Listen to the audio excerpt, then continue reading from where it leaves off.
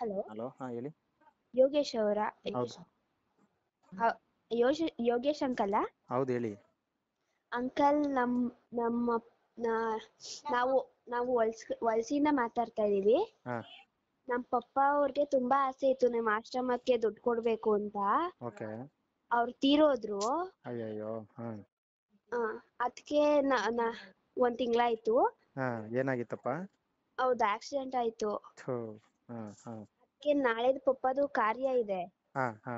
ಅದಕ್ಕೆ ಅದಕ್ಕೆ ನಾವು ನಾಳೆ ನಿಮ್ಗೆ ದುಡ್ಡು ಕಳಿಸ್ತೀವಿ. ಅಲ್ಲಿ ಆಶ್ರಮಕ್ಕೆ ಅವ್ರಿಗೆ ಏನಾದ್ರು ಊಟ ಹಾಕ್ಸ್ಬಿಡ್ತೀರಾ? ಖಂಡಿತ ಖಂಡಿತ ಪುಟ ಖಂಡಿತ. ಎಲ್ಲಿ ಯಾವ ಊರು? ನಮ್ದು ವಲ್ಸಿ. ಎಲ್ಲಿ ಬರುತ್ತದು ಅದು? ಕೋ ಕೋಡ ಕನಕಪುರದಿಂದ ಕನಕಪುರ. Okay okay okay. ಆಯ್ತು ಕಳ್ಸಿ. ನಿಮ್ ತಂದೆಯವ್ರದ್ದು ಒಂದು ಫೋಟೋ ಕಳಿಸಿ ನನಗೆ. ಮೂರ್ ಸಾವಿರ ಕಳಿಸ್ತೀನಿ ನಾಳೆ. ಆಯ್ತು ಆಯ್ತು ಪುಟ ಆಯ್ತು. ನಾನ್ ಕೂಡಿ ನಾನು ನಾನು ಗೂಡ್ ನಾನು ಕೂಡ್ ನಮ್ಮ ಅಪ್ಪ ಕೊಟ್ಟಿರೋ ದುಡ್ಡಲ್ಲಿ ಕೂಡಿಕೊಂಡಿರೋದದು. ನೀನ್ ಏನಕ್ಕಾರ ಓದೋದಕ್ ಬಳಸ್ಕೋಬೋದಲ್ವಾ ಅದನ್ನ? ಬೇಡ ನಮ್ ಪಪ್ಪ ಕನ್ಸ ನನ್ಗೆ ಬೇಕು. ಹ್ಮ್?